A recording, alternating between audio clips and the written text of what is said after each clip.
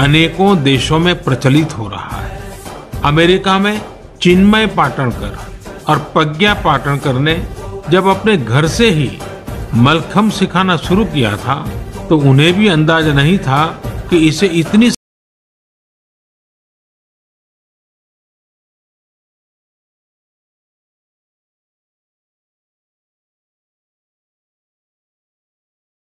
मलखम सीख रहे हैं। जय गौ माता की साथियों। आज हमारे साथ हैं सौरभ जी जो मध्य प्रदेश छतरपुर से हैं और आप मलखम के प्रशिक्षित कोच हैं जो राष्ट्रीय स्तर पर पिछले कई समय से युवा पीढ़ी को मलखम के प्रति उनके अंदर ऊर्जा भर रहे हैं उन्हें प्रेरित कर रहे हैं इस पौराणिक खेल के प्रति। सौरभ जी बहुत बहुत स्वागत है टीवी में आपका। धन्यवाद। जी। आपने अवसर दिया बुलाएँ। जी, जी आ, सौरभ जी आप पिछले कितने समय से इस मलखम खेल से जुड़े हुए हैं?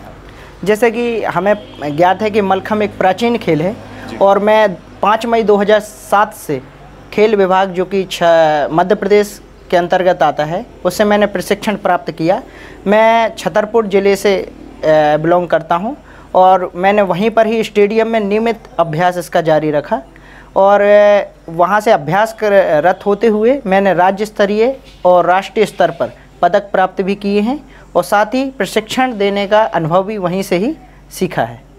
सौरभ जी ये जो मलखम का जो गेम है ये इसके इतिहास के बारे में हमारे दर्शकों को आप अवगत कराएँ। ये कैसा गेम है कब से चल रहा है जी, इसका ऐतिहासिक क्या महत्व और इस गेम को करने के बाद में बच्चों में क्या उत्साह हो रहा है? जी। ये थोड़ा सा इसके ऐतिहासिक। दृष्टिकोण से हमें। जैसे कि हमें ज्ञात है कि मलखम एक भारतीय प्राचीन खेल है और इसकी शुरुआत 1135 ईस्वी से मानी जाती है क्योंकि बृहदेश्वर मंदिर में जो राजेंद्र चोल के द्वारा निर्मित किया गया था उसके शिलालेखों द्वारा भी मलखम्ब की कलाकृतियाँ प्रतीत होती हैं। एक मनसोल्लास नाम की किताब में भी इसका उल्लेख किया गया है।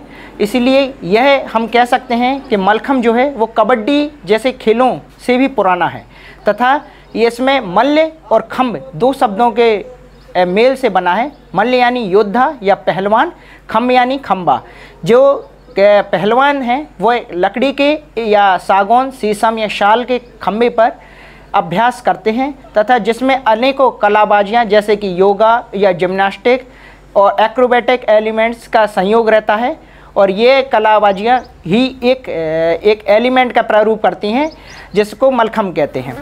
मलखम आज तीन प्रारूपों में खेला जाता है। जैसे पहला हम देख सकते हैं, लकड़ी का खम्बा जो कि साढ़े आठ फिट का होता है, इसे पोल मलखम कहते हैं, और रस्सी जो कि अठ, अठारह फिट जिसकी लंबाई होती है, उसका जो डायामीटर रहता है वो 18 एम mm से 20 एम mm के बीच में रहता है। और ये रोप मलखम कहलाता है, तथा इसी जो पोल मलखम है, इसी का ही एक अलग प्रारूप है, जो हैंगिंग मलखम कहलाता है। इसकी हाइट छः फिट रहती है, और ये चेन से बांधा जाता है, ये हैंग करता हुआ रहता है, इसीलिए इसे हैंगिंग मलखम कहते हैं। आज भारत सरकार द्वारा इसके तीनों प्रारूपों को मान्यता मिली हुई है। जैसे कि आपने भाई साहब इतिहास के बारे में पूछा तो इसका इतिहास बहुत ही पुराना है। इसके जो फाउंडर मेंबर हैं वो श्री गुरु बाल भट्ट दादा देवधर जी हैं और 1135 ईस्वी से इसका उल्लेख आता हुआ दिखाई देता है। बीच में इसके विलुप्त होने की भी कगार थी लेकिन पुनः अ, 1956 में जिम्नास्टिक फेडरेशन ऑफ़ इंडिया द्वारा इसको अब जिम्नास्टिक के अंदर सम्मिलित किया गया जो कि 1961 तक जिम्नास्टिक के अंदर में चल अंडर में चला। फिर all India invitational Mallakhamb championship university level की आयोजित की गई जो कि इकहत्तर तक चला। फिर मलखम फेडरेशन ऑफ़ इंडिया का गठन किया गया जो कि 1981 में किया गया। और आज तक जो भी प्रतियोगिताएँ आयोजित की जाती है वो मलखम फेडरेशन ऑफ़ इंडिया के अंडर में ही आयोजित की जाती हैं। सरकार के द्वारा इस खेल को कितना प्रोत्साहन दिया जा रहा है? क्या सरकारी नीतियाँ इस गेम को लेकर हैं? इसके बारे में थोड़ा सा। जी भाई साहब।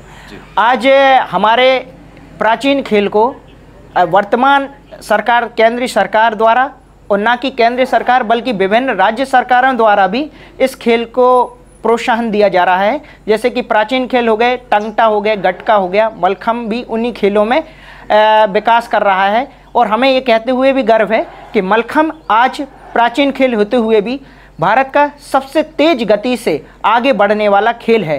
क्योंकि अभी जो छत्तीसवीं नेशनल गेम्स हुए थे गुजरात में, उसमें भी मलखम को शामिल किया गया।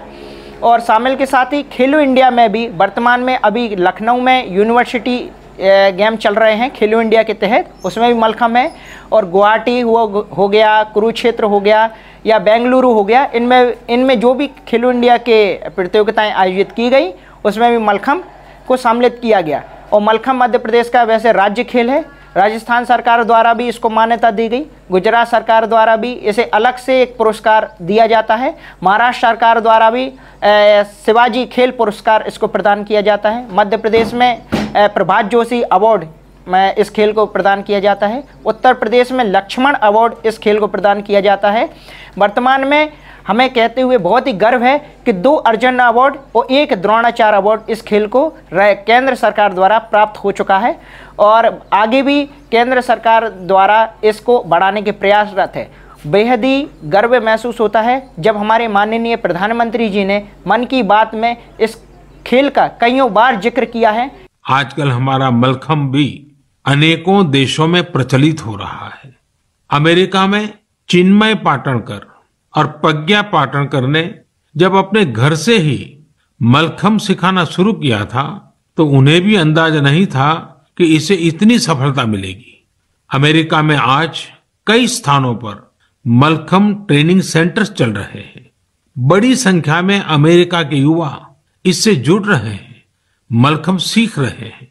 यह न केवल देश में, बल्कि विदेशों में भी 20 से 25 देशों में ऑस्ट्रिया हो गया, पोलैंड हो गया, हॉलैंड हो गया, Germany, Nepal USA, Italy, France, या या अपना सिंगापुर हो गया, इंडोनेशिया हो गया, वियतनाम हो गया। इन सभी देशों में मलखम को बढ़ चढ़ के आगे आज प्रोत्साहन दिया जा रहा है। अभी हाल ही में ही सेकंड वर्ल्ड चैंपियनशिप जो कि असम में आयोजित की गई है, उसमें भी 20 देशों ने पार्टिसिपेट किया है, जिसमें इंडिया का गोल्ड मेडल है और पहली वर्ल्ड चैम्पियनशिप भी हम फेडरेशन के अंडर में भोपाल में आयोजित की गई थी। इसलिए आज इसका जो विकास है, वो चहुमुखी विकास हो रहा है इस खेल का।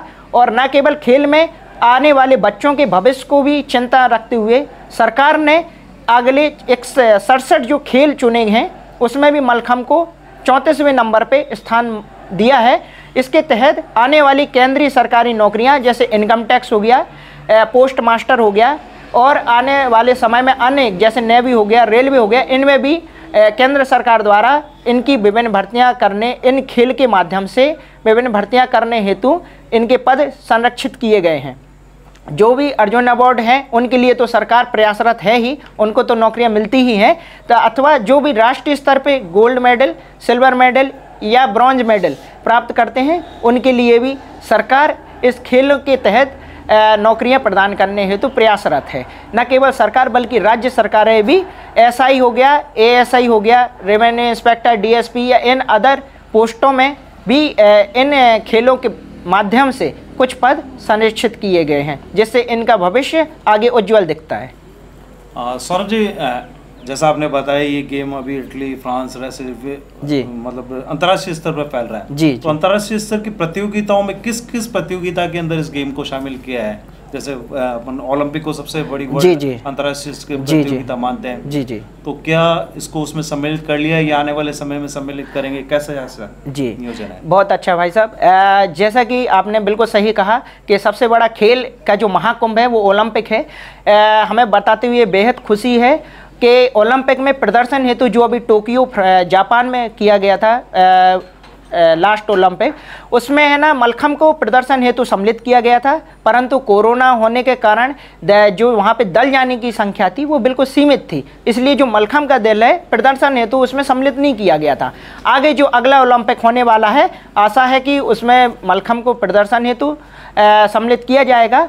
और वर्तमान सरकार द्वारा भी प्रतिवेदन तैयार करके आईओए इंडियन ओलंपिक एसोसिएशन द्वारा भी इसके खेल को बढ़ावा देने हेतु ओलंपिक में भेजने के लिए प्रयासरत है। युवाओं के अंदर इस खेल के प्रति कितना रुझान तेज बढ़ रहा है ये थोड़ा सा बताइए और क्या क्या सावधानियाँ रखने की आवश्यकता है इस जी।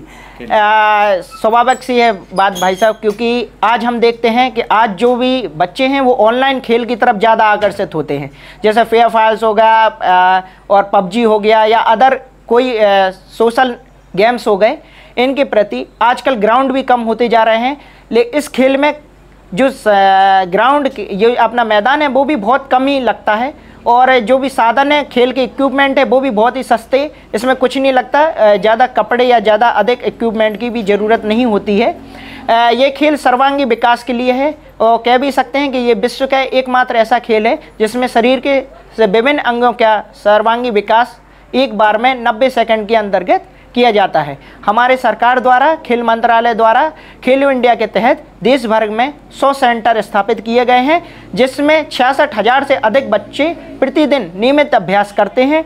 इन अभ्यास के तहत ही जो इस खेल में थोड़ा व्यक्तिगत व्यायाम या शारीरिक व्यायाम होने के कारण समय ज़रूर लगता है, परंतु अगर एक बार बच्चा सीख जाता है तो उसे वो फिर परम्परा परम्परागत हो जाता है। और इस खेल के निपुण होने के साथ ही आगे इस पर अभ्यासित करते हुए राष्ट्रीय स्तर, राज्य स्तर या अंतर्राष्ट्रीय स्तर पे भी निखरने का उसको मौका है। इसलिए इसका नियमित अभ्यास ज़रूरी है और हमें जान के बेहद ही खुशी है कि राज्य स्तर पे भी इसका प्रयास है। कुछ प्राइवेट एसोसिएशन हो गया, स्टेट एसोसिएशन हो गया, डिस्ट्रिक्ट फेडरेशन हो गया, ये सारे लोग मिलके अपने अपने सेंटर को संचालित करते हैं, जिसमें बच्चे जो स्थानीय बच्चे हैं ये नियमित रूप से सम्मिलित होकर अभ्यासरत करते हैं वहाँ। जैसे इस खेल में सावधानियों को लेकर यदि बात करें जी। क्या सावधानियाँ बच्चों को रखने की आवश्यकता है? जी जी जी। आ, जैसे ये खेल आ, थोड़ा सा टिपिकल भी है ये इससे हम इनकार नहीं कर सकते।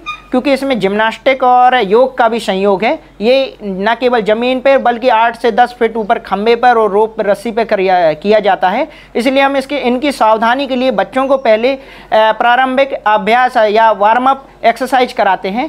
साथ ही इनको फिर योगा की तरफ़ मोड़ते हैं। जब बच्चे ज़मीन पर योगा अच्छी तरह से करने लगता है तो किसी ऊँचे स्थान पे या पत्थर पे या किसी लकड़ी के खंभे पे, छोटा सा उस पर दो फीट से पाँच फीट पे, उस पर अभ्यास कराते हैं, फिर धीरे धीरे उसको एक सा जो मलखम है, जो इसकी एक्चुअल हाइट है, उस पर अभ्यास कराते हैं, साथ ही नीचे सावधानी के लिए इसमें नीचे मैट होते हैं, क्रिश मैट होते हैं, जो कि इनके गिरने या लगने से बचाते हैं, साथ ही कोच भी इनकी सावधानियों को ध्यान रखते हैं, इनके पास खड़े होकर इनको पूरी तरीके से, पूरा सहयोग करते हैं ताकि ये बच्चा कोई भी फिसले नहीं या इनका कोई भी नुकसान ना हो। और आगे मेडिकल सुविधाएँ भी सरकार द्वारा दी जाती हैं। खेल स्तरों पे या प्रतियोगिता स्तर पे मेडिकल की सुविधाएँ भी होती है। साथ ही केंद्र सरकार द्वारा इंश्योरेंस भी इनका किया जाता है। जब कोई आप खेल प्रतियोगिता में जाते हैं तो इनका इंश्योरेंस भी सरकार द्वारा किया जाता है। किसी हानि से बचने हेतु। अभी जो रुझान की अगर बात करें तो युवा वर्ग जो इस दिशा के अंदर आ रहा है तो कितने संस्थाएँ वही देश भर में इसमें कार्य कर रही है? जी जी। स्वरूप में। जी। आ, आपने बहुत अच्छा भाई साहब प्रश्न पूछा क्योंकि आरएसएस संस्था भी इस अलग अनेकों वर्ग स्थापित करके राष्ट्रीय स्वयं सेवक संस्था भी इसमें कार्य कर रही हैं। हमारे गुरुकुल भी बहुत अच्छे इन पे इनकी तरफ़ कार्य कर रहे हैं। इन्होंने समर कैंप में प्रशिक्षण वर्ग लगाकर भी इस खेलों को न केवल बचाने बल्कि अभ्यासरत और आगे बढ़ाने हेतु एक बेहद महत्वपूर्ण कदम उठाया है। और हमारे विभिन्न वर्ग तो हैं ही। अब हमारे सीबीएसई स्कूल भी इसके तरफ़ आगे बढ़ने लगे हैं। शहरी जो बच्चे थे, जो इन चीज़ों से बचते थे, मेहनत करने से बचते थे, अब वो भी इनमें योगा से लेके और मलखम थोड़ा सीखने का रुझान बनाने लगे हैं। और आने वाले समय में, अभी प्रधानमंत्री जी ने बोला है कि मलखम खेल का जो वीडियो है, वो सभी स्कूलों में दिखाया जाना चाहिए। उनने ऐसा बोला है तो स्वाभाविक सी बात है, अब ये खेल रुकने नहीं वाला। दिन दोने रात चौगनी की रफ्तार से बढ़ बढ़ रहा है, वो आगे बढ़ता ही चला जा रहा है, क्योंकि फेडरेशन है स्टेट फेडरेशन है या नेशनल फेडरेशन है या डिस्ट्रिक्ट एसोसिएशन है, ये भी इसके खेल को बढ़ाने हेतु प्रयास कर रही है जिला लेवल में, राज्य स्तर पे और राष्ट्रीय स्तर पे, अंतर्राष्ट्रीय स्तर पे भी हमारा फेडरेशन काम करती है। साथियों, अभी हम सुन रहे थे सौरभ जी को और इन्होंने मलखम के बारे में विस्तृत जानकारी हम सबको उपलब्ध कराई। मलखम वास्तव में एक पौराणिक गेम है और अभी आधुनिक जो परिवेश है, इस परिवेश में ये अपने आप को पुनः मजबूती के साथ स्थापित कर रहा है। सरकारें बहुत सपोर्ट में है इस गेम को लेकर। अंतर्राष्ट्रीय स्तर पर भी लोगों का रुझान इस खेल की तरफ़ तेज़ी से बढ़ रहा है। निश्चित रूप से एक पौराणिक गेम का एक पुनरुद्भव इन जैसे महारथियों के सहयोग से आज स्थापित हो रहा है। बहुत बहुत धन्यवाद सोना जी।